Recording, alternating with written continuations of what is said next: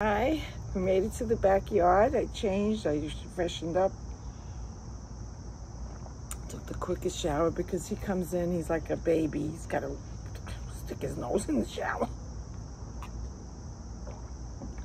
It's like having a kid, you know? You ever remember going to the bathroom when you were a kid? I mean, when, when they were young, everything was when you went to the bathroom, the emergency. I remember my daughter be watching TV and she'd be screaming, Mama! And I'm thinking, oh my God, what happened? I drop everything. I run in. and She goes, that's what I want for Christmas. That was the emergency. She saw a commercial. I miss those days, honestly. So I cut up the, re the rest of the peach.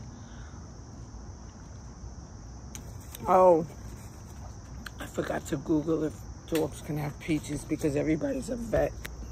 The answer is yes. Come on, buddy. Come over here, buddy boy. Let me see this guy. I mean, he's as big as a horse, this guy. You know, this ain't, look, this is gonna fit, fit his, uh, fill his cavity. Got my yogurt.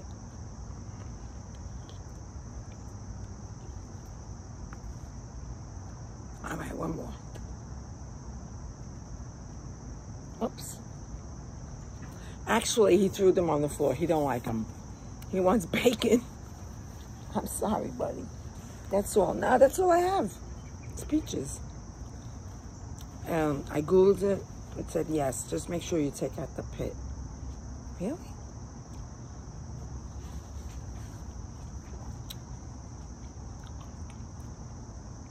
I know they can't have chicken bones. I wouldn't give them any kind of bone, honestly. I'd be too afraid. Even a beef bone or, I don't know. No way. Um, so, yeah, it's quiet.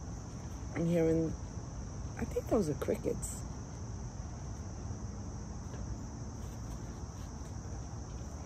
Not a cloud in the sky. What do you want? I'm sorry. That's all I have, baby. No? Mm-mm. Oh, he loves to rip up this stuff. He's a shredder. Yeah, I know. You're looking at it. He's eyeballing it. He wants. He wants it because he's a shredder.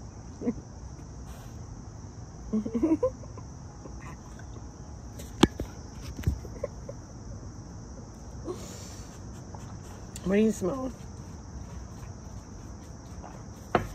Good. Maybe he saw a squirrel or a rabbit or something. But it's real quiet out here. You don't even want to yell. Um, I, I guess it's early. I, it's not that early. I mean, the sun's up. So I take an airplane right now, you know? Not an ambulance, not a, nothing. Backfire, truck backfiring maybe. Because where I live, it's a main, whatever you want to call it. When now they made bumps in the in the in the road, so you really can't. But it used to be motorcycle, motorcycle road, motorcycle road. Um, all summer long, they'd be and you know racing. So, so you know now I got the dog barking. I, I hope that's okay. hope they didn't call the security on me like they did in the park. They called security in the park once for me. I was with the kids. I was screaming at them. They were so bad. Was, they were away this week. And my daughter and her husband and I watched the kids, the three of them. So I said, let me take them to the park. And this is the time I took them to the park this early in the morning because I said, let's, I'm going to get them tired they're on the monkey bars. They're doing all kinds of stuff, not listening to me. And I'm screaming, screaming, Natalie, Natalie, stop, Liam. Watch your brother, watch your brother. Next thing I know, this kid comes over to me with a, clipboard and a pen. He was like 19. he goes, uh, do you live around here? I looked at him, I said, what? He goes, uh, ma'am, do you live around here? I said, no. I said, but I'm watching my grandkids. And then they came, the three kids. Goes, you know, you, you're, you're, you're disturbing the peace.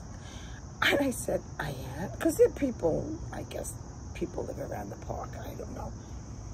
I said, I am. I said, I'm sorry. He goes, you have any, uh, can I see some ID? No, I didn't bring my bag. I was the key. I said, I don't have my bag. I said, I'm their grandma. Then they started chum Natalie. She's our grandmother. And my mother told us that she could yell at us. And then Liam, he goes, and, and she could hit us too. I was like, I never, I never hit my daughter, all right? Never. So the guy goes, he's like, where, where, where do you live? Where, what house do you live? I gave him the address and everything. He goes, the phone number. I said, oh, the phone number you got me. I said, I don't know the phone number.